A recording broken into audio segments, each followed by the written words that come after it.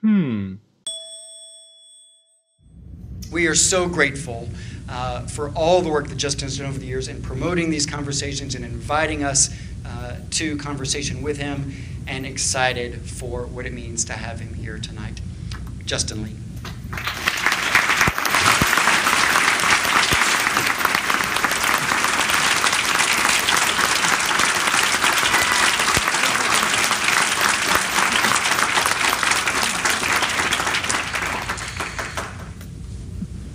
Oh my word.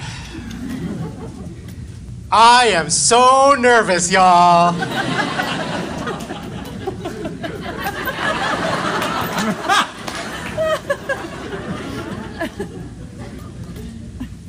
like, I got the invitation to come speak at Baylor, and I was like, oh, that's awesome, Baylor. I've never spoken at Baylor. That's really, really great. And then, like, people were like, you know, it's a big deal, right? I'm like, yeah, yeah, no. I mean, it's you know, I'm I'm speaking on a fair number of conservative Christian campuses where you know it's a it's a big deal. Uh, that I'm speaking, people are like, no, it's a, it's a really big deal. and then I and I get here, and everybody's like, oh, I'm so glad you're here. I'm so glad you're here.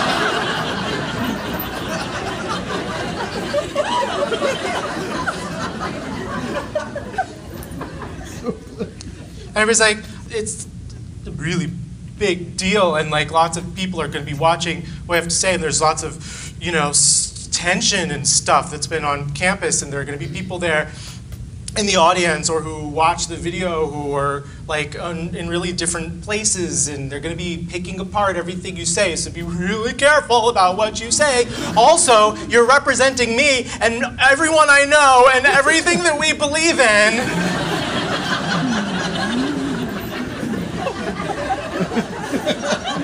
You're the first.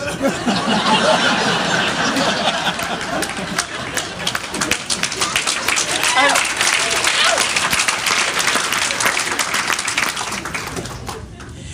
and it's a Christian campus, so make sure you stay within Christian tradition as Baylor understands it. I'm like, y'all, you are making me really nervous. This is like, this is, this is, you know, I was okay until you started talking about this being a big deal. And people were like, Justin, Justin, don't think that we don't care, but every hope and every prayer rests on you now. no, that's Phantom of the Opera. Um, I have to make one obligatory musical reference. It's in my contract. Um, so, I live my life here.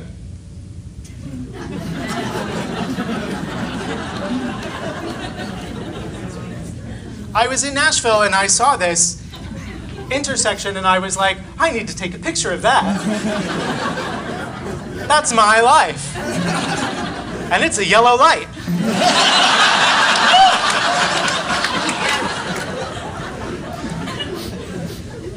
um, so, yeah, I want to talk about Christianity and LGBTQ persons, and that persons part is really important because I think we spend a lot of time talking about LGBTQ issues. And we're going to talk about issues tonight, but I want to talk about issues through the lens of talking about actual people.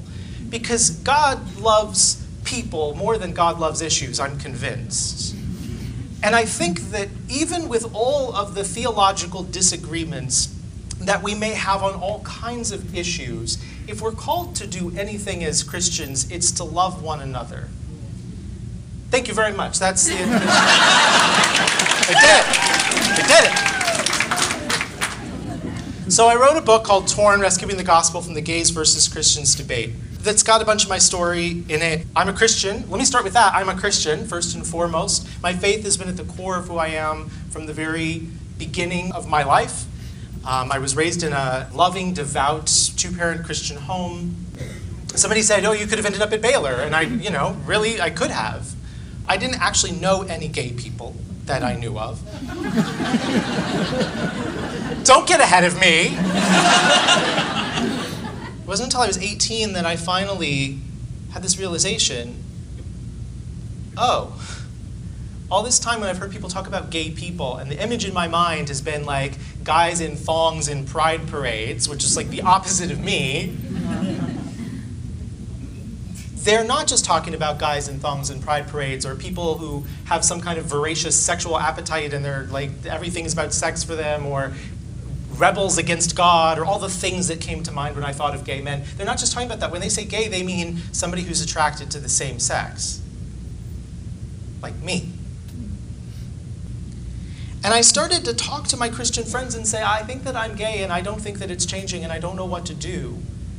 Because I've always believed that it's a sin, like that marriage is between a man and a woman, but I don't want to marry someone I'm not attracted to. That doesn't seem fair to her. I don't want to be alone for the rest of my life. I don't know if I can reconcile scripture with same sex marriage. I don't even know where my place is in the church. I have been, for the last 20 years, having this conversation with a lot of folks, a lot of LGBTQ folks, not just gay Christians, but LGBTQ Christians, and a lot of straight cisgender Christians. Cisgender is to transgender as straight is to gay, you know. But a lot of a lot of non-LGBTQ Christians who are like, this is a this is a tough conversation, and we're trying to figure out how to have this conversation. We want to be loving, but we have these questions. And I didn't want to come tonight and just tell you my all of my personal uh, biblical theological analysis and stuff. I could do that. I've done talks like that, but that's not really where my heart is. And I don't think I kind of feel like all of you by now probably know what you believe the Bible says about all of this, and probably even if I told you what I thought, you would all go out believing exactly what you came in believing. So that's not what I want to talk about tonight. What I want to talk about is where do we go from here as a church? as a body of Christ on a campus like Baylor, but also as individuals. One of the things I didn't realize growing up is that this is actually a fairly new conversation in the church. We think about this as something that, oh, the church has been talking about this for 2,000 years. The church hasn't been talking about this for 2,000 years. Now, there are times throughout church history that, that you know, church fathers or, or in scripture, we see people writing about same sex sex in particular contexts. But we haven't been having a conversation in the church for 2,000 years about oh, some people are gay, some people are bi, some people are trans. What do we do for these folks as a church? What is God calling those people to? What does God's calling look like for them? What does God's calling look like for us as the church as we relate to LGBTQ folks? This is not a conversation we've been having for 2,000 years. In fact, this is a conversation that has happened almost entirely within the lifetimes of people who are around today if it feels like we're still a little like eh, trying to figure this out, that's a technical term, eh? that's part of why. Because this is still a fairly new conversation. I mean, you think about it, somebody who's in their 70s now, like our current president and several of the top contenders for that spot are all in their 70s. Um, some of the most influential evangelicals of, uh, of my lifetime, folks like James Dobson and Pat Robertson, are in their 80s. But somebody in their 70s right now, they grew up in the 1950s. They're born in the 40s, grew up in the 50s. Think about what this country was like in the 50s. Think about the racial dynamics in this country in the 50s.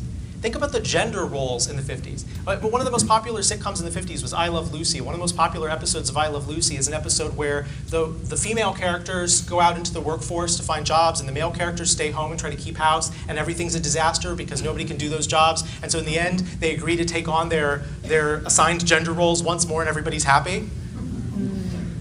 Yeah! I mean, it's still a funny episode, but. Imagine in the context of that culture, prior to the civil rights legislation of the 60s, imagine in that context coming out and being like, hey, everybody, I'm attracted to the same sex. My gender identity is not the same thing that you see on the outside. That would not have been an easy conversation. Um, that's not something very many people did sort of the beginning of what people think of as the beginning of the, this, the gay liberation movement with uh, people starting to be encouraged to come out was 1969, the Stonewall riots. Uh, through the 70s, you had some, you know, more people coming out, but even into the to the 80s and the 90s, still a lot of folks who were in prominent positions did not come out for fear of losing their jobs, losing the respect of people. Ellen DeGeneres came out in 1997. That was the year after I came out, so I beat her, so I win. when Ellen's sitcom character came out in 1997, many uh, network affiliates ran a warning at the beginning of the episode because her saying "I'm gay" in the episode was so controversial. The like president of my network affiliate was like on the TV being like, "You may not want your family to see this episode because she said I'm gay." It was still a really big deal, a really controversial thing, and you know, those of you who were not around or aware of the conversation happening at this time need to know that like this is still fairly new that we're having this conversation as openly as we are now. In 1965, an evangelical man by the name of Ralph Blair gave a talk. Uh, he was a, an employee of InterVarsity Christian Fellowship. Gave a talk at Yale in which he advocated for Christians supporting same-sex relationships. Uh, that did not go over well at that time. But he was, a, he was four years ahead of Stonewall. Mm-hmm. Troy Perry in uh, California was 28 years old in 1968 when he created the first church that was focused on ministry to the LGBTQ community in Los Angeles. Um, there were folks in those early days starting to have this conversation about what, how does the church respond, even some on the uh, most affirming side, as those two men were, but also they were both gay and both uh, you know had a personal experience that was driving some of that. But for the most part, they would have been considered very fringe by the church. In the 1970s, um, as people were starting to have this conversation, some brave Christians came out and said, Hey, this is something I'm struggling with. What do I do? And they got together and they started to form these support groups in the hopes of becoming straight. And they formed what became the first ex gay ministries. And in 1976, those ex gay groups formed, uh, came together to form a group called Exodus, which for many years was the standard bearer in ex gay uh, ministry, gay people trying to become straight.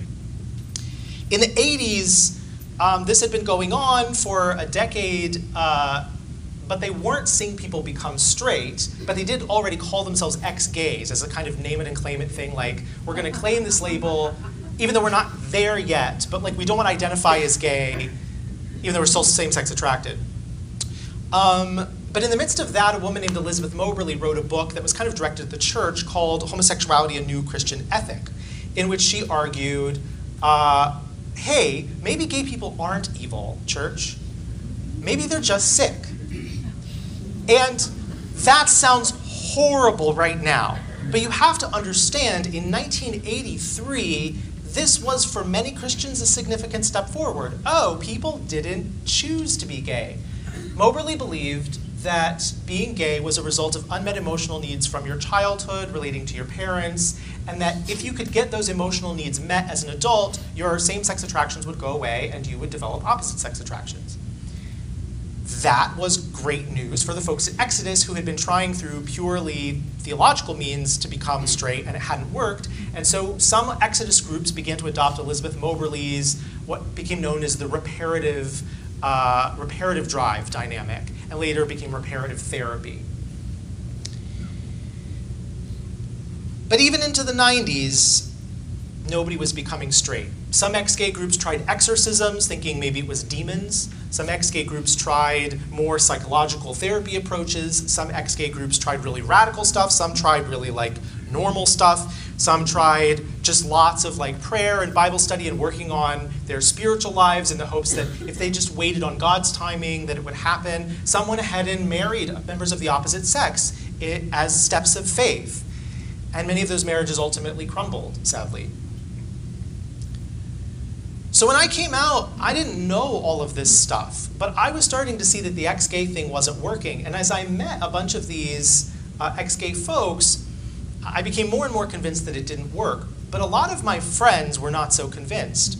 And when I started to say to my friends, I don't think that this ex gay thing is going to work, I think I might be gay for the rest of my life and I don't know what to do about it, all a bunch of them said the same thing to me. Because there was one guy who did seem to have a real gay to straight success story. and everybody knew his name if they paid attention to this stuff at all in the 90s. His name was John Paulk, and he wrote a book called Not Afraid to Change. And I don't know if you can see on this slide, so let me zoom in for you. The subtitle is The Remarkable Story of How One Man Overcame Homosexuality. And John, unlike a lot of the ex gays, was not shy about claiming you can become straight. On the back of the book it says, Can a homosexual become straight? Oh, some people say no. They say gays can't change. But it's not true. An increasing number of men and women around the world are living proof that those authorities are wrong. John Paulk is a former homosexual. And then, like a lot of these stories, it's like sex was life, and partner after partner happily took their turn, you know, like all the gay men do. Um, so people said to me, How can you say gay people can't become straight if John Paulk became straight? And I would say, Well, I don't know. Maybe he did, but it doesn't seem to be working for me or anybody I know. You know, I don't know what to tell you. John Paulk was everywhere. John and his and wife were on the cover of Newsweek. There they are. Um, John was the John was the homosexuality and gender specialist for Focus on the Family. He was the chairman of the board of Exodus International. He was the guy responsible for all the stuff James Dobson sent out about gay people and the fact that gay people could become straight. And then John Paulk got photographed in a gay bar and claimed he didn't know it was a gay bar when he went in. I'm not, and I'm not even saying that to make a joke. Like, that's really what happened. And they kept him on at Focus on the Family. He continued to write stuff telling people that gays can become straight, and James Dobson continued to cite John Paulk as proof that gay people can become straight, even having known that John Paulk had been caught in a gay bar on a business trip and lied about it. Today, John Paulk admits that he was never straight, that he was always gay, and that he felt pressured to say that he was straight because it's what he believed the church wanted. Alan Chambers, who was the head of Exodus International, who was the president of Exodus for 10 years, a few years ago admitted that, in his words, 99.9% of the people who went through Exodus did not become straight. I had him on my live uh, Facebook live show a few weeks ago, and he said, actually, I want to revise that to 100% because I was thinking of one exception when I said that, and that exception turned out not to be an exception. Another group sprung up in the wake of Exodus. Exodus closed, having admitted that they were not making people straight, that God wasn't making, making people straight through them, that the straight thing wasn't happening. Another group sprung up called Hope for Wholeness. And they said, look, we're sorry Exodus closed down, but we're going to keep doing this work. Uh, McKrae Game, who was the head of Hope for Wholeness just last month, admitted that that didn't work either, and that he also is gay, having claimed for many years that he was straight. This is important to understand because this has been the history of the ex-gay movement. It keeps happening over and over and over and over and over and over and over and over. Now what? Some of you are wondering why I just spent so much time on the ex-gay movement when it seems like it's in the past partly because it's not in the past. There are still a lot of ex-gay groups that are around today. A lot of them have changed their language so that they don't sound ex-gay. But for some people, this is still news because a lot of people I meet, a lot of well-meaning, loving, compassionate Christians I meet still think that if I would go to the right ministry, that I would become straight. And they will point to somebody and they'll say, I know this person's testimony. They wrote a book, or I've heard them speak, and I know that they have become straight. And I, what I don't say to them is, I know that person, and I know they're not straight, but it's not my place to tell you that. At the very least, we can say that many people who have tried to become straight did not. Ditto for folks who tried not to be trans. Um, so we're left with this question as a church. What do we do? Now what? Even if some people could become straight and become cisgender, if there are any of us, and we know there are, for whom that doesn't work, for whom, for whatever reason, God is not intervening to change their sexual orientation or gender identity, then those people have to live life somehow. So for those of us who are LGBTQ, what do we do? And for the rest of the church, how do we love people? in the midst of their journey. Now, back in the 90s, a group called Bridges Across the Divide came up with uh, a model for talking about, in their case, homosexuality and the disagreements about homosexuality. And they came up with these terms side A and side B. Side A folks believed that same sex marriage is equally valid to uh, opposite sex marriage. Side B, that's the affirming view. Side B was marriage between a man and a woman. Um, that's God's intent for our sexuality. For many years, folks who talk about LGBTQ issues in the church have used that model, that side A, side B model, for talking about disagreement in the church. And it's helpful sometimes when you're talking about theology of marriage. But it doesn't address trans folks at all, and I actually think that the modern church is split a little bit more like this three ways. So, this is my suggestion for a way of talking about where we are in the church today. One of these views I would describe as the pushback approach. This is like three different Christian views to LGBTQ folks. One of them I would call pushback. The pushback approach basically assumes that being LGBTQ is something in your control, something you could change or choose. If you're gay or bi or trans, it's your fault. It represents a moral failing. The pushback group treats LGBTQ folks as political or cultural opponents in a war for the future. You chose this, it's sinful, we don't want anyone else to choose this, so we're going to push back as hard as possible against any kind of affirmation or acceptance so that fewer people will choose this in the future. That's essentially the pushback approach. A second approach would be what I call the cross to bear approach. Now, this approach shares the same underlying biblical view of marriage and gender, for the most part, as the first one.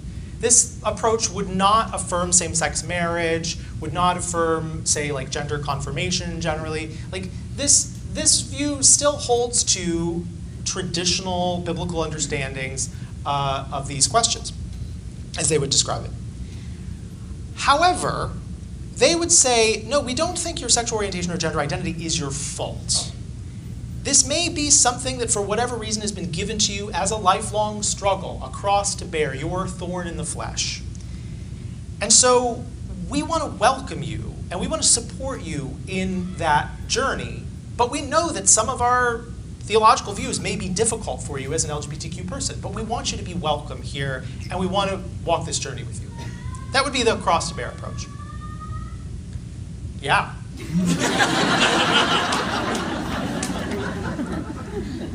And then the third view is, as you might guess, the fully affirming approach. Fully affirming of same sex marriage, um, of expressing gender identity as part of how God made you, not as a burden to bear. Um, the idea that you should be able to, as an LGBTQ person, flourish in life and relationships under the same rules as non LGBTQ people, but adapt it for your orientation or gender identity. So I've put these in sort of in the order of like how much the average LGBTQ, LGBTQ person likes them.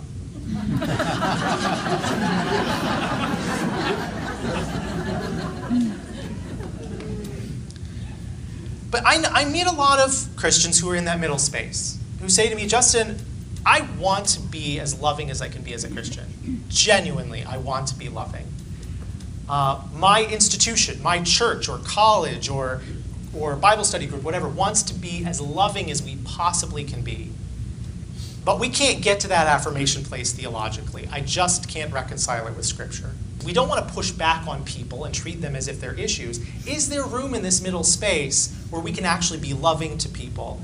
Is that possible? And my answer to that is going to be revealed momentarily. Um, no. No, my answer is yes. Yes, I do believe you can hold a conservative view of marriage and still love and support LGBTQ folks.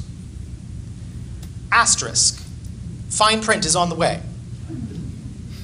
To see why it's complicated, let's quickly just take a look under the hood of each of these approaches. That's also the butchest thing you're going to hear me say tonight. yeah! We're going to take a look under the hood and also sports metaphor.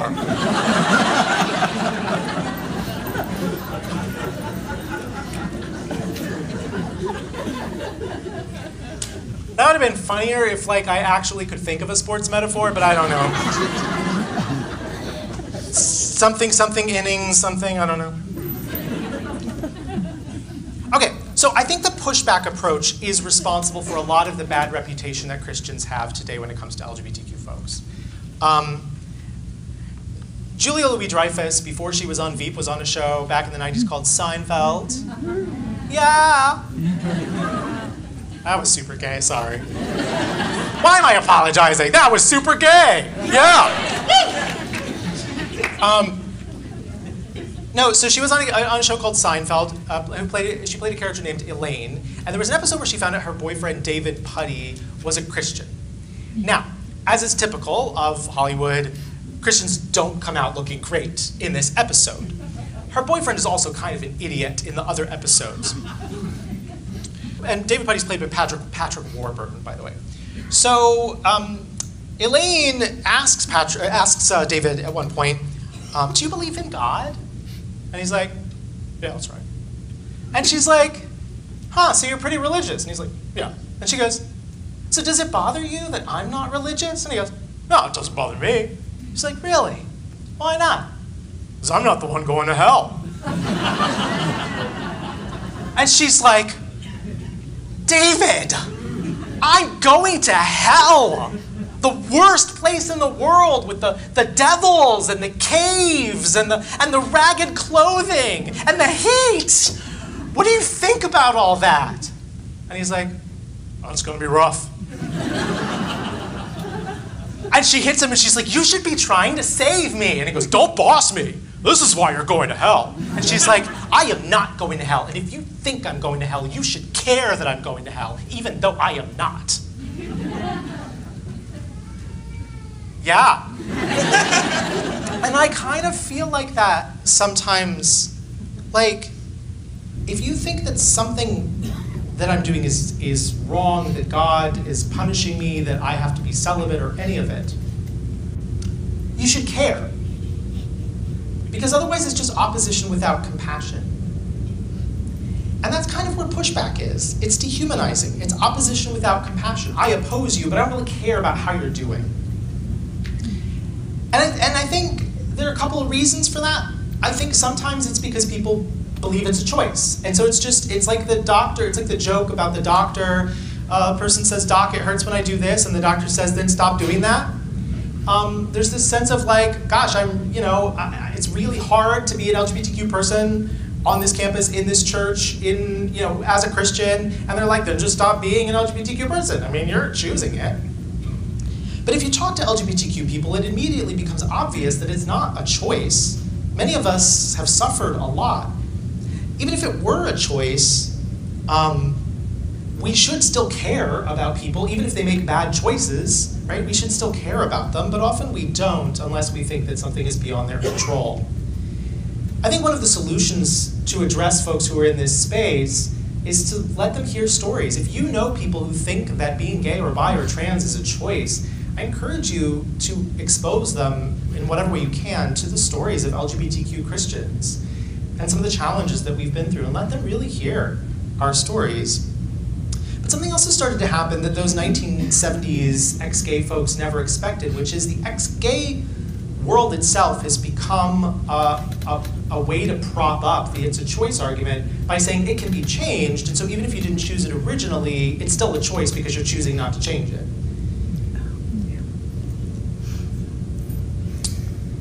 But it's not until people realize that it's not something that you choose or could change that they begin to actually think about the burden that many LGBTQ people carry, especially as Christians.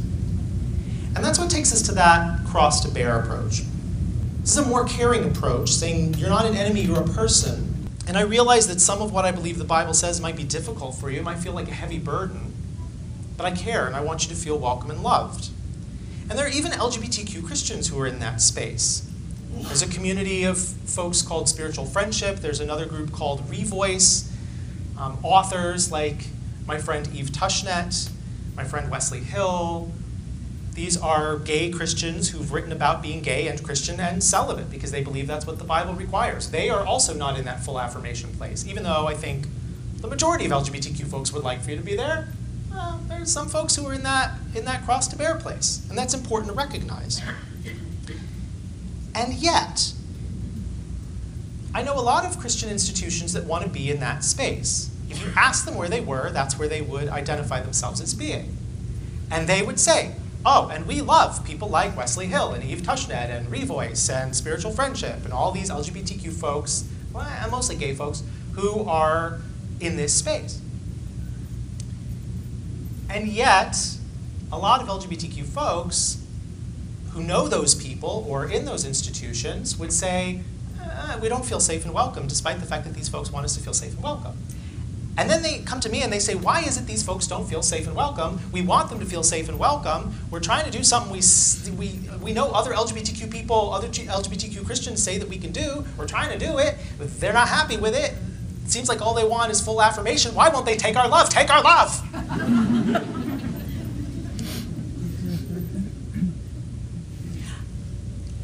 And I think there are a couple of different reasons that this happens. One of them is some of them think that they are here, when in fact I think that they are here. They're in that gay space. I saw this uh, prank show thing a while back where they tricked diners in a nice restaurant by filling water bottles with water from a hose, from the tap through a garden hose, and then putting fancy labels on the bottles and telling them that it was fancy water, and then they paid money to like drink this fancy water. And they were like, oh, this is delicious. Um, one of the things that's happened as more and more folks have turned against the ex-gay movement, and they don't use the term ex-gay anymore, that's just the term I'm using because it's what they used to call themselves, and I'm just trying to be consistent here. Um, is that they're still selling folks the same contaminated water, but they've slapped a new label on it. And I, I'm a, I'm not an activisty kind of guy. Like I'm, I'm pretty laid back. Like I'm not. I get super uncomfortable when I like have to call anybody out. I'm not a call people out kind of person. Like I am all about let's love each other and be friends even when we disagree and whatever. So like I just want you to know I feel super uncomfortable like saying these ex-gay groups bad but I've seen so many people's lives destroyed by these groups. I've heard so many stories and I've listened to so many people bawl for hours on end. I've known so many people who've walked away from their faith, or worse, um, because of these groups that this is an exception that I will make where I'm just going to be really blunt with you all. This is contaminated water that they're selling. Um, as research began to show the psychological damage of what these groups had been doing, and they remember they started out as groups of gay people, gay Christians who were trying to do what God wanted. So, like, these are not villains. These are people who are trying to do the right thing, but it became institutionalized, and when it didn't work, the leaders who discovered it didn't work fell away, and the new leaders came in who believed it worked, and it's been perpetuated for several decades, and it's hurt a lot of people. As people started to turn against this, what they started to do was um, change the language that they use publicly. And one of the ways that they've done that is if you go to the websites of most ex gay groups today, they will have something on their website somewhere that tells you, we do not do conversion therapy. And they do this because conversion therapy is the word is the term that a lot of folks in the secular sphere are using right now as they're trying to attack this kind of stuff in secular spaces. And they will say, we do not do conversion therapy. And a lot of people read that and think, oh good, this is not an ex-gay group. But if you actually read more or ask questions and dig a little deeper, you find that the reasons they say they do not do conversion therapy are things like this. And these are all real reasons that current ex-gay groups are currently giving for why they do not do conversion therapy. You can tell that we don't do conversion therapy. I, this is my paraphrase of what they're saying. This is not, I want to be clear, these are not quotes, but these are, these are actual things that they're saying. Uh, you can tell we don't do conversion therapy because we do not use the term conversion therapy. That is a propaganda term that other people use. We don't use it. This is not conversion therapy. Or, we do not do reparative therapy, and this is literally on a website of a major national ex-gay organization. We do not do reparative therapy Reparative therapy is a trademarked term of Dr. Nicolosi, who is dead. We do not consider what we do therapy. We consider it ministry. So these groups have set themselves up as like not ex-gay, and a lot of deeply compassionate, well-meaning Christians who are in that middle space are turning to some of these groups who have set themselves up as authorities on LGBTQ folks, and they've borrowed their language and their materials, and they're using them without knowing that these are ex-gay materials. Or they're referring people to these ministries without knowing that they're referring people to ex-gay ministries. And then people, and then the LGBTQ folks are like, something about this, it doesn't feel right. And they're like, well, I don't know, we're here. And it's like, no, actually, you're here. But sometimes people really are in the cross to bear space, and it's something still not, not working out. And the, the reason for this is there are two different versions of that cross to bear space. One of them is what I would call the sympathy framework. This is your burden to bear, and I have so much sympathy for you. This is way more sympathetic than the pushback approach. It's more compassionate. It sees us as human beings, as genuine sympathy for our burden. But it's kind of like there's an episode of 30 Rock, which is another great show, where Liz Lemon, played by Tina Fey, is sick and she's in the bathroom and she's like hugging the toilet. And Jack Donaghy, her boss, uh, played by Alec Baldwin, is standing in the bathroom and she's like, Do you even care how miserable I am right now? And Jack is kind of like, doesn't know what to do. So he looks around and he takes a broom and he goes, There, there.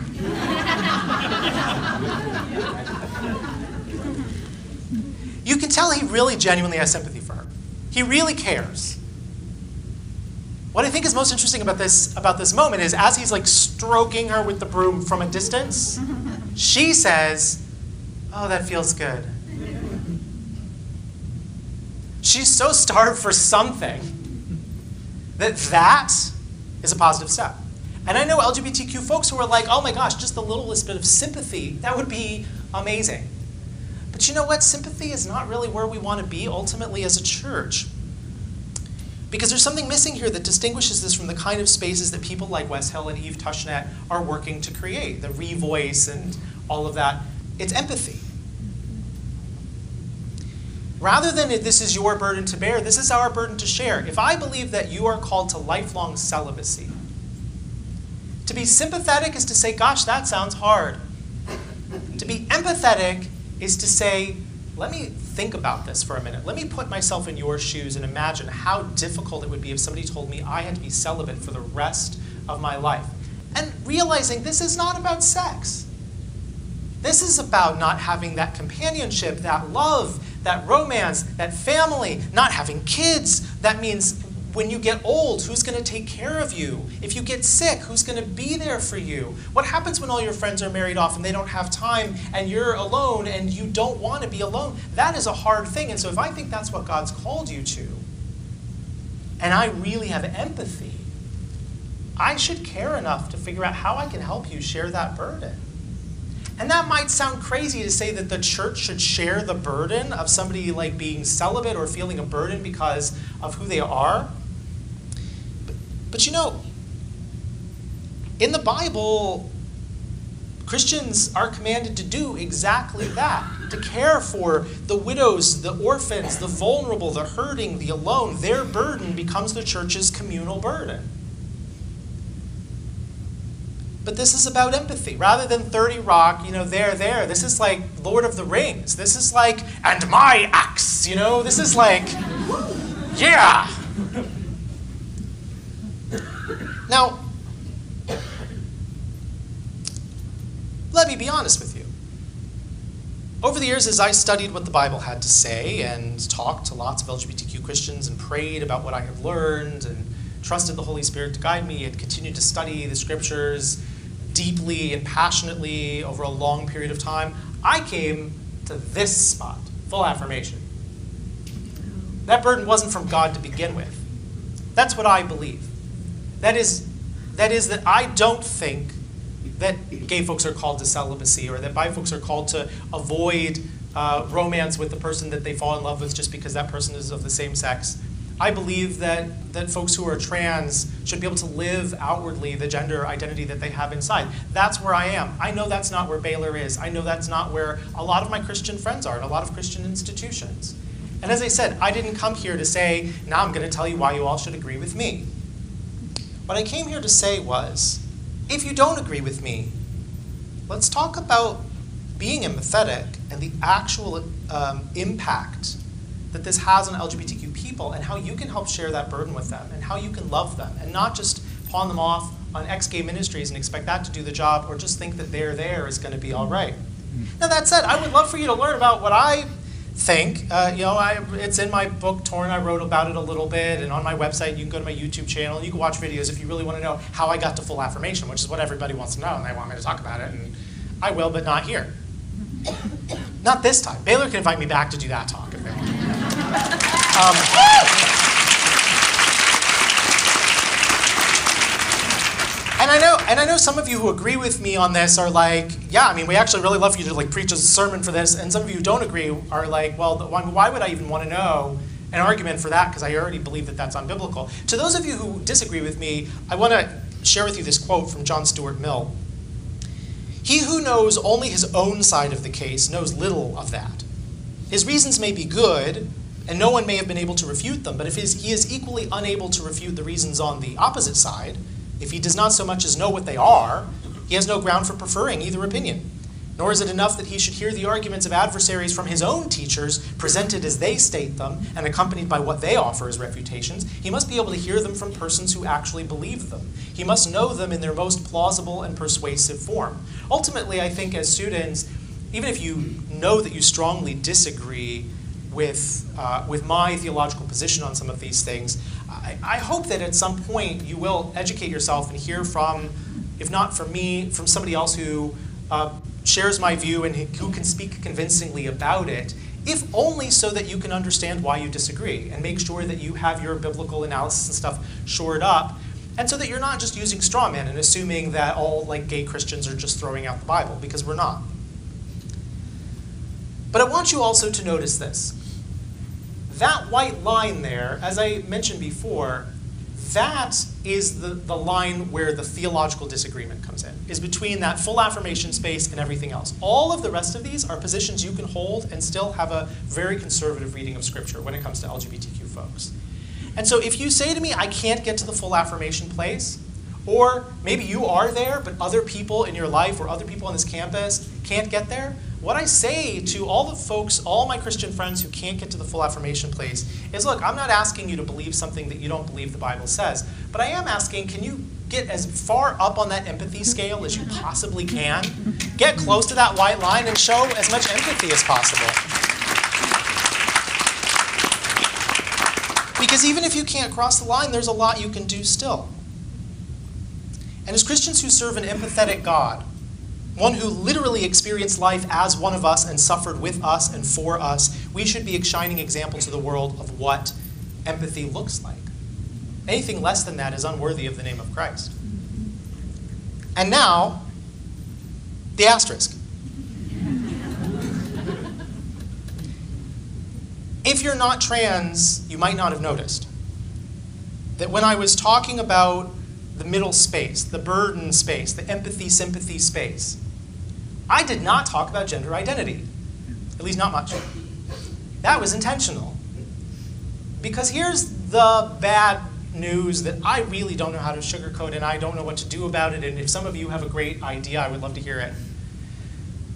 I don't think that there's an equivalent for uh, be fully affirmed as a gay person but celibate, be fully affirmed as a bi person but only heterosexual relationships are available to you, which, by the way, then bi people end up feeling erased and feeling like part of their identity is not seen, that people assume that they're straight and all of that. And that's a whole conversation that I wish we had time to get into. Um, I don't think there's an equivalent to that for trans folks. Because if you say to a, to a trans person, you cannot be on the outside who you are on the inside, the only way to do it is somehow change who you are on the inside, but that hasn't worked. Um, or then just go through your life like faking it. Um, I don't think that that's the same as asking somebody to be celibate. I think asking somebody to be celibate for life is like a lot. It's really scary. It's scary to me if that's, you know, something that, the, that God ever required of me. I don't think that's what God's requiring. I hope. Please, God. Um, but that does not compare to not being able to be honest about who you are for your whole life. And um, I don't know, y'all.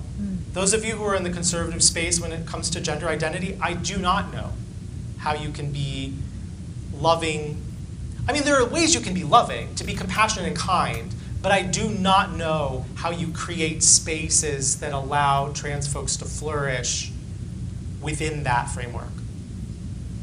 I don't.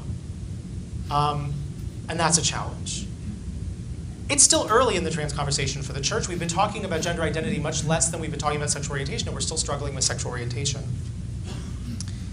But I'll tell you my feeling about gender identity, and I say this as a gay guy who is not trans, and so I just want to be clear that um, you need a trans person on this stage to share their experience. Um, I. Contrary to popular belief, I am not the gay Lorax who speaks for the T's.